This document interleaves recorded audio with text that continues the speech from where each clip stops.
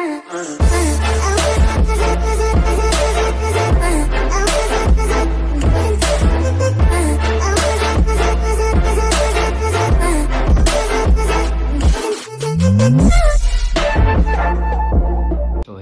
how are today I hope you're doing well so then let me know in the comment section and today I'm back with another interesting part of Izuku's secret relationship and this is going to be part 2 and within few hours uh, the part 3 is also going to become. So stay tuned with us and let's get into the video. Make sure to like the video and subscribe to the channel and press the bell icon for the latest notification.